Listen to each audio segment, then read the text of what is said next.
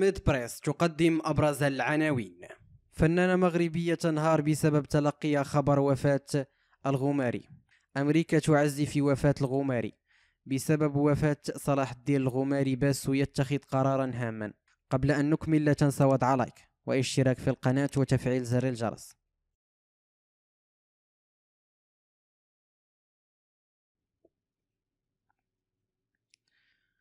فنانة مغربية تنهار بسبب تلقيها خبر وفاة الغماري. تقاسمت الفنانة المغربية صباح بن صديق مشاعر الحزن والألم مع متتبعيها بموقع التواصل الاجتماعي إنستغرام عقب تلقي خبر وفاة الإعلامي صلاح الدين الغماري. وظهرت صباح بن صديق في شريط فيديو وهي تذرف الدموع وتسري التفاصيل تلقيها خبر وفاة الإعلامي المغربي في القناة الثانية دوزام صلاح الدين بسبب إصابته بسكتة قلبية. وقالت الممثلة في حديثها ما قدرتش نصبر ما تنعش الليل كامل حسيت بديك الحرقة ديال بابا من اللي مات قلبي ضرني تيقوا بيا. رجعت المواجع الله يرحمه ما عمرني بكيت على شي واحد في حياتي. ويشار إلى أن الموت خطف الإعلامي المغربي صلاح الدين الغماري ليلة الخميس الجمعة بسبب إصابته بسكتة قلبية مفاجئة الأمر الذي خلف صدمة عند عائلته والمغاربة بأكملهم. أمريكا تعزي في وفاة الغماري. قدمت الولايات المتحدة الأمريكية عبر سفارتها بالرباط تعازيها في وفاة الصحفي صلاح الدين الغماري عبر حسابها الرسمي في فيسبوك بكتابة السفير دايفيد فيشر. أنا وزوجتي جينيفر تلقينا ببالغ الأسى خبر وفاة الصحفي صلاح الدين الغماري أحد ألمع الصحفيين المغاربة. وأضاف السفير الأمريكي بالرباط على الحساب الرسمي لسفارة الولايات المتحدة الأمريكية بالمغرب. نعرب عن أعمق تعازينا لعائلته ولزملائه في القناة الثانية ولجميع المغاربة الذين اعتمدوا على الصحافي الراحل كمصدر موثوق للمعلومات والأخبار. خاصة خلال جائحة كوفيد 19 وتفاعل آلاف من رواد حساب سفارة الولايات المتحدة الأمريكية بالمغرب على الفيسبوك مع تعزية السفير الأمريكي معربين عن تثمينهم لهذه المبادرة وعن حزنهم العميق في فقدان الصحفي صلاح الدين الغماري. وتوفي الصحفي صلاح الدين الغماري في ساعة متأخرة من يوم الخميس الموافق للعاشر من ديسمبر 2020 بمدينة الزهور المحمدية بسكتة قلبية عن عمر يناهز الخمسين سنة ويتم دفنه بجانب قبر والده الراحل بمسقط رأسه بمدينة مكناس. بسبب وفاة صلاح الدين الغماري باسو يتخذ قرارا هاما. كشف الفنان الكوميدي محمود محمد باسو عن قرار تأجيل طرح حلقته الجديدة من سلسلته الكوميديا ناطق غير رسمي عبر قناته الرسمية بموقع يوتيوب. وذلك بسبب فاجعة وفاة الإعلامي المغربي صلاح الدين الغماري. ونشر محمد باسو تدوين عبر خاصية ستوري بحسابه الرسمي بموقع إنستغرام. جاء فيها سيتم تأجيل حلقة اليوم من ناطق غير رسمي تكريما لروح الزميل صلاح الدين الغماري رحمه الله وأسكن فصيح جناته. ستبقى دائما حيا في قلوبنا. وعاش الوسط الإعلامي والفني ليلة الخميس الجمعة صدمة كبيرة عقب تلقيهم خبر وفاة الإعلامي المغربي بالقناة الثانية دوزام صلاح الدين الغماري. إدارة ترامب تخطر الكونغرس ببيع أسلحة للمغرب بقيمة مليار دولار. قالت مصادر مطلعة أن إدارة الرئيس الأمريكي دونالد ترامب أرسلت إخطارا للكونغرس بمضيها قدما في بيع طائرات مسيرة وأسلحة موجهة بدقة بقيمة مليار دولار للمغرب.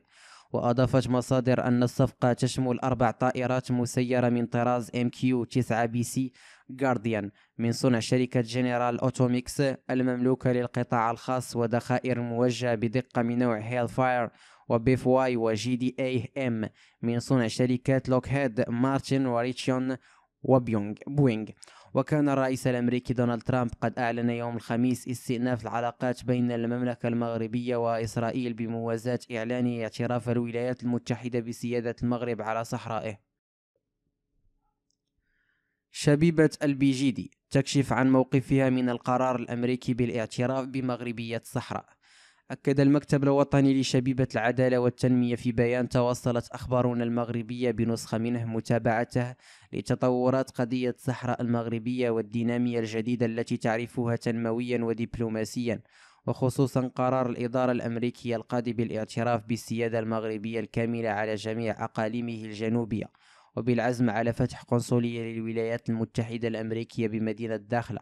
وهي خطوة يؤكد البيان لها وزنها وأهميتها الكبيرة على الصعيد الدولي وتساهم في تأكيد سيادة المغرب على أقاليمه الجنوبية ما اعتبرته شبيبة العدالة والتنمية تتويجا للتعبئة الوطنية وللجهود الدبلوماسية التي يقودها جلالة الملك حفظه الله والتي تنخرط فيها كافة القوى الحية في البلاد في إطار إجماع وطني يمثل الصخرة الصلبة التي تتحطم عليها كافة المناورات والمؤامرات التي تحاك ضد القضية الوطنية. أمكراز وإخوانه أكدوا على أن قضية الصحراء المغربية باعتبارها قضية مصيرية وقضية إجماع وطني كلفت الشعب المغربي دماء زكية طاهرة فضلا عن المعطيات التاريخية والقانونية المحيطة بها تجعلها قضية مستقلة عن أي قضية أخرى. ولا يمكن بأي حال أن تكون موضوع مساومة أو مقايضة أو ابتزاز للمغرب أو ضغط عليه وارتباطا. بذلك تعتز شبيبة البيجيدي بتأكيد جلالة الملك رئيس لجنة القدس خلال اتصاله.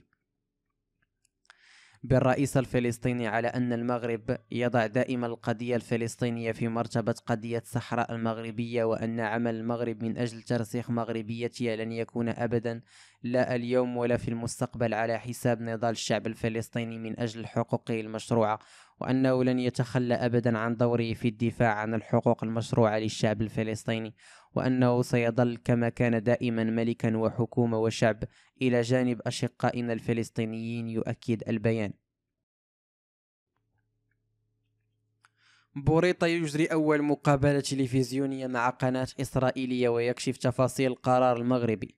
حل وزير الخارجية المغربي ناصر بوريطة ضيفا على قناة كان العبرية في أول مقابلة صحفية يجريها مسؤول مغربي مع الإعلام الإسرائيلي عقب الإعلان رسميا عن تطبيع العلاقات بين البلدين؟ واعتبر رئيس الدبلوماسية المغربية في مقابلته أن اتفاقية التطبيع بين إسرائيل والمغرب تمثل تطورا مهما تدعمه جميع مراكز القوة المهمة في المغرب.